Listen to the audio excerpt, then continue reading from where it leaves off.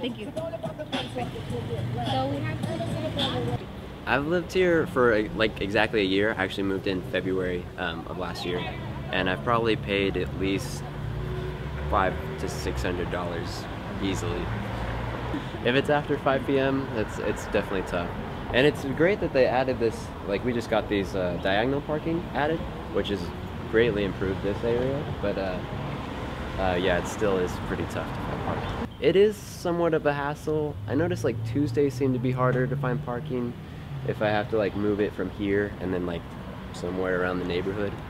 Um, Wednesdays, I don't know if it's more people go to work or if there's like the Tuesday spots are open. I can usually find a spot in the morning if I have to, but it's not too bad.